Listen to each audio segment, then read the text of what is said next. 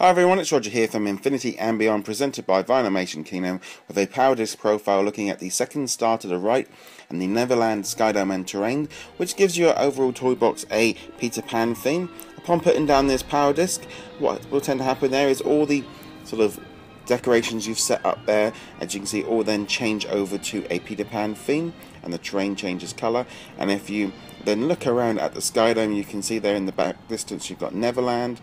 and then as we continue to fly up